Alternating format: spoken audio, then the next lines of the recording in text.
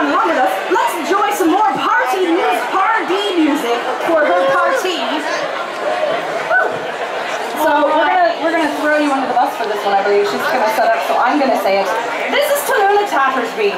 She sings all of the songs that we know about cats. I'm pretty sure it's because she's just got nine lives. I've been typecast. You been typecast. Are you a cat in real life?